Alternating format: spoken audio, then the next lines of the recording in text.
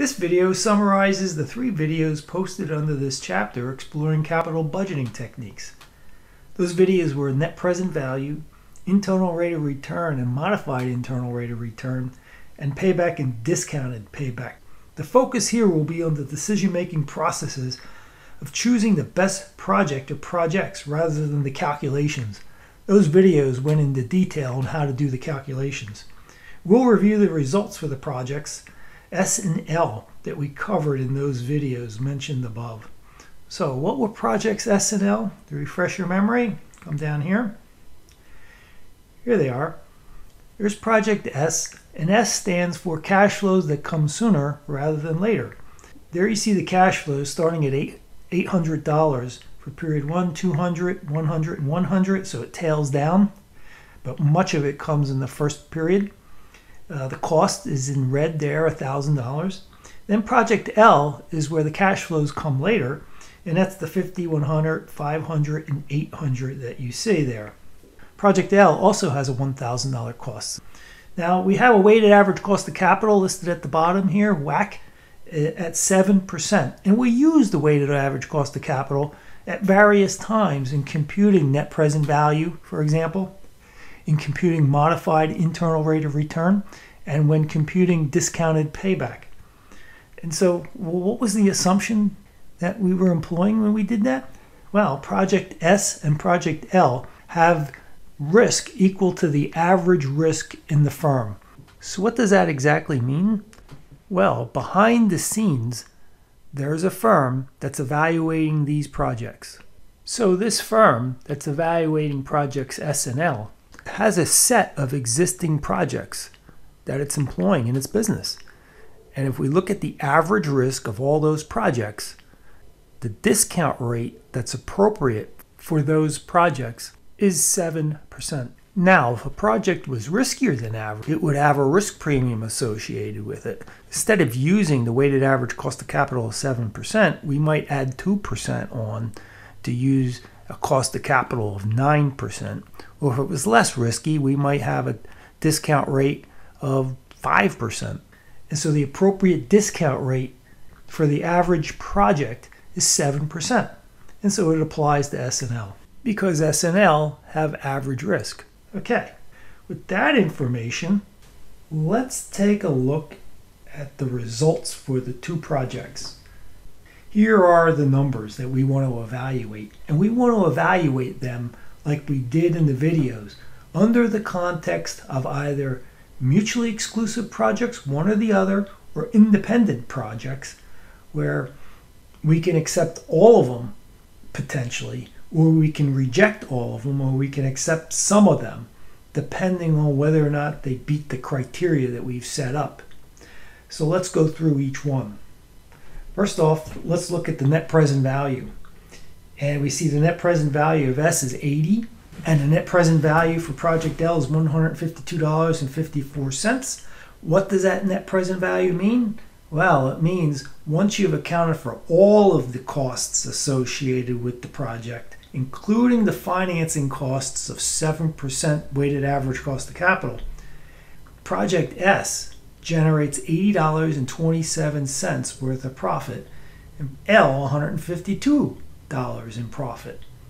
Net present value, when it's positive, means that the project is beating its costs. It's profitable. And so here we have two profitable projects. And in this case, we ask ourselves, okay, if the two projects S and L are mutually exclusive, which project are we going to accept? We're going to accept project L because it has the highest net present value. It adds the most to shareholder wealth. If we had mutually exclusive projects, we discard S and just accept L. Now, if we look at internal rate of return, we want to pick the project with the highest internal rate of return provided it's greater than the weighted average cost of capital. So the internal rate of return reflects all the costs, all of the expenses associated with the project, except financing costs. How do you incorporate financing costs into the analysis? You compare it against the weighted average cost of capital. And if the internal rate of return is higher, then it's a profitable project according to the internal rate of return rules. And when you have mutually exclusive projects, you want to pick the one with the highest internal rate of return. And that happens to be Project S. Now let's look at modified internal rate of return. And with modified internal rate of return, you want to select the project with the highest modified internal rate of return, provided it beats or is greater than the weighted average cost of capital. And here we have project L has the highest modified internal rate of return. So if we're looking at mutually exclusive projects, it's L. So before we go any further, it begs the question, why does project S have the greater internal rate of return while project L has the greater modified internal rate of return? It has to do with the reinvestment assumptions that are made with modified internal rate of return. Remember, internal rate of return assumes that the cash flows generated by the project are reinvested at the internal rate of return, which could be quite high and unrealistic. Modified internal rate of return reinvests those cash flows at the weighted average cost of capital, 7%. And once you reinvest those cash flows at the 7%, it dampens the effective internal rate of return. And in this case, provides a more realistic rate of return. Now, let's look at payback. Payback and discounted payback are in years. And with payback, let's start at payback here. With payback, we want the project that pays back the quickest. We recover our costs the fastest with the lowest payback. So we're really looking for a low payback. And how low? Well, it depends on the cutoff criteria that management has.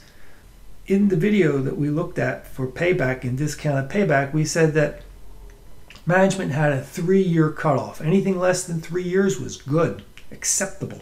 Anything more than three years means it took too long for the project to pay back, pay itself back. In other words, to recover its costs. And so if we have a three year cutoff, well, S wins because it beats that three year cutoff, and L is takes too long. L takes a, almost a half a year too long. Now, if we apply discounted payback, we apply the same criteria to discounted payback, we see that S just beats that three year mark. And so that's the project that's acceptable. L we would reject because it takes three quarters of a year too long and it would be considered risky by some people or illiquid for Project L. So S is better, more liquid according to that criteria. Now, in red, we have the winners for mutually exclusive projects. Now, what happens if the projects are independent? If the projects are independent, the cash flows from each project are unrelated to each other. Then we could accept both S and L, or any other project we're looking at potentially, we could reject them or we can accept some of them, depending on the criteria. Let's go down the list. And I'll put that in green. So we'll go down the list and we'll see how to evaluate Project S&L under independent projects. So for net present value, we want to accept all profitable projects. All profitable projects are the ones that have a positive NPV. Both projects have a positive NP, NPV. So we would accept both of these projects if they were independent. Both are acceptable. So I'll put the green star there. Both are acceptable. Now, for internal rate of return, we ask ourselves, well, the, does the internal rate of return beat the 7% weighted average cost of capital for an average project? Because average risk project, because both of these projects are average risk. They do. Both of them beat it. So both of them are acceptable if they're independent. So you know, go back to the the example I gave in the videos earlier. It's well, if you have uh, if you're considering a Walmart in Seattle versus a Walmart in Washington D.C., for example, you can accept both because both are profitable. Now, let's look at modified internal rate of return. Again, both modified internal rates of return beat the 7% weighted average cost of capital, so both are acceptable. With payback, we have that three year cutoff, and it looks like only Project S wins. And so we star that. We would reject L, just doesn't make it, it's too long to pay back. And for discounted payback, we would pick S, And L again does not pay itself back quick enough, so we would reject it. So you can see, according to what we've just done, the green stars all indicate that project S is acceptable if they're independent. So let's look at the, the stars now overall and what we did. Let's start off with mutually exclusive. Well, if we have mutually exclusive projects, these criteria are telling us different stories. L is the better project with net present value. And then if we use internal rate of return, S is the better project. And then if we use modified, then it's L. And then for the paybacks, it's project S. So which is the winner? It seems like almost a tie. Well, that's where we fall back on the decision rule I talked about in the very first video where we covered net present value. And in that discussion, we said that net present value rules the rules. So now what I want to do is explain that statement by examining what these rules include and exclude in their computations and the pros and cons of each one. So here we have the five rules and some characteristics that we would like these rules to have. So let's look at net present value first in terms of cash flows, scale, time value of money, and risk. Does net present value utilize all cash flows? And the answer is yes, it includes everything, including the cost, which is why we have the term net here, N. And does it reflect scale? Yes, it does. So, how should you interpret that? Generally speaking, the project with the larger net present value is the larger project. And for sure, it adds more to shareholder wealth than a project with a smaller NPV. Does it employ time value of money? Absolutely. And does it reflect an adjustment for risk? Yep, net present value through the discount rate reflects risk. Now let's look at internal rate of return. Does it utilize all cash flows? Yes, it does. Does it reflect the project's scale? Well, when you see an interest rate, it doesn't really work in terms of reflecting the size of the project. You can't really tell. At least with net present value, you get a dollar amount and so you can see it adding to shareholder wealth. But with internal rate of return, you just get an interest rate.